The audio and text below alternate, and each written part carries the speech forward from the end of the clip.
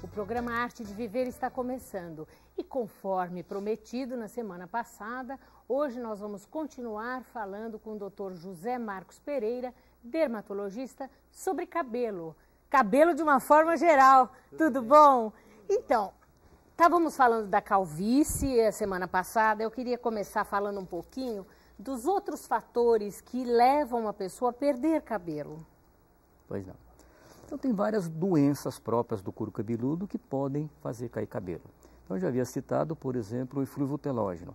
O eflúvio telógeno é uma aceleração do ciclo biológico do cabelo. Então após um estresse físico, um estresse emocional, um medicamento, então o cabelo ele acelera muito e depois de 3 a 4 meses, grande quantidade de cabelo entrou na fase de queda e cai. Chega a cair 40%, 60% Nossa, dos cabelos ou mais. bastante. Mas não é nenhum motivo de preocupação porque é totalmente reversível.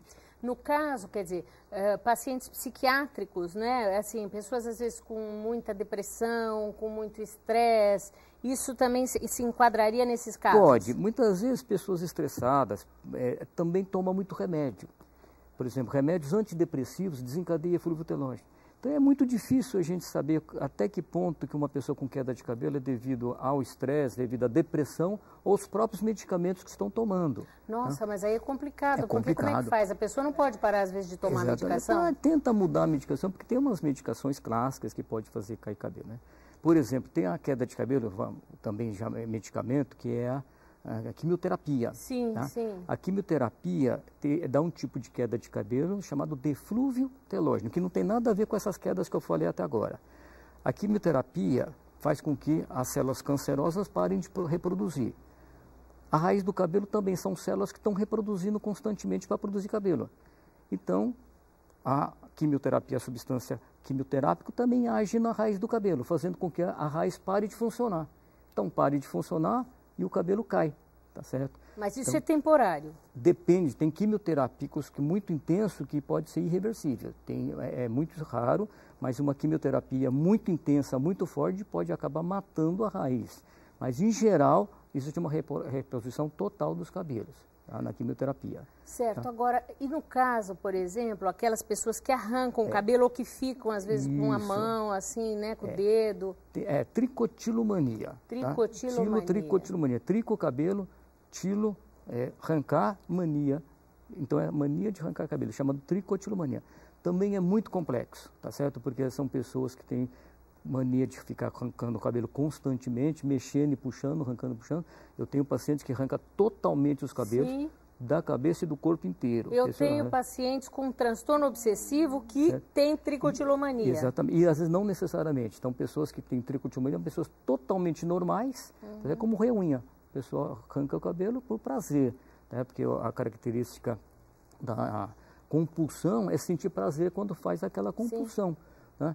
Então, é dificílimo. Às vezes, uma- o, o- o fato mais difícil na tricotilomania são os pais não aceitarem.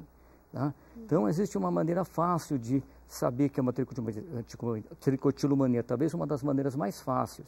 Então, não precisa nem examinar o paciente, basta pegar o cabelo que cai lá no chão. Então, a pessoa está arrancando o cabelo, pega lá o cabelinho que está lá do lado do computador, no travesseiro, na fronha e faz uma análise. O cabelo, para ele cair espontaneamente, ele entra na fase de queda, que é um cabelo chamado telógeno. E existe um cabelo chamado anágeno, que ele é muito firme no couro cabeludo, então ele não cai. Então o paciente, quando ele puxa, ele puxa o cabelo telógeno. com aquela anágeno, Sai com né? raiz. Então quando a gente faz a análise e vê a raiz inteira, significa que o cabelo foi arrancado. Agora, nesses casos, é, porque o tratamento seria a pessoa não arrancar mais, Exatamente. mas assim, é, é, é, isso é reversível no É caso? reversível. Como eu disse antes, aquela alopecia traumática, de tanto puxar, ele pode acabar machucando a raiz e muitas vezes ficar uma área irreversível, porque acaba machucando a raiz. Mas o tratamento é muito complexo, envolve dermatologista para fazer diagnóstico, psiquiatra, né? Então, envolve uma série de fatores. Existe o fato dos pais não aceitarem, tá certo? Então, é muito complicado. Tá? Agora, é, em qualquer, dependendo do, do tratamento, vai levar um certo tempo. Por exemplo, no caso da calvície, Certo. quanto tempo a pessoa precisa Bom, fazer um tratamento? Todas as doenças hereditárias, diabetes, pressão alta, colesterol alto, o tratamento é ad eterno, é para sempre, tá certo? Então, por isso que a gente tem que começar, quando pega o paciente jovem, você não pode dar uma dose alta, depois de pegar um jovem de 14, 15 anos, começar com finasterida. Então a gente sempre tenta dar medicações mais amenas e manter o paciente equilibrado. Mesmo um adulto, quando pega um jovem de 25, 30 anos de idade, pelo exame a gente vai saber que grau de calvície que ele está tendo, nós podemos dar uma medicação mais potente até tirá-lo da crise, pelo menos amenizar a calvície. Depois faz manutenção com medicações mais brandas, sempre tendo em mente que o tratamento é para o resto da vida. Tá? Às vezes o paciente vem no consultório, por exemplo, no caso de calvície, mulheres. A mulher chega com 30 anos de idade. Como ela chega no consultório? É, é mais ou menos padronizada, né? Uma jovem de 25, 35 anos de idade, cabelo calvo, desesperada, com um monte assim de exames 99% de todos os exames normais e com uma pilha também muito grande de medicamentos e sem diagnóstico. Tá? A maioria sem diagnóstico. Então, a primeira coisa é acalmar o paciente, explicar que temos que fazer um diagnóstico, para ela estar sem diagnóstico. Nós fazemos o diagnóstico, aí começamos a explicar, eu explico detalhadamente para ela entender o que é, tá certo? Aí ela vai ter que seguir uma meta de tratamento. Porque aquele monte de tratamento pode ser até tratamentos bons, só que ela não seguiu nenhum. Tá certo? É como um paciente. O paciente tem diabético, ele pegou uma dose de insulina e vai para aquela dose por resto da vida. Agora ele não, ele tomou insulina, tomou outra droga, tomou chazinho, tomou quer dizer, ele fez um monte de coisa quando você só fez essa, não fez tratamento claro. nenhum. Já voltamos a falar. Tá. Vamos ouvir agora o doutor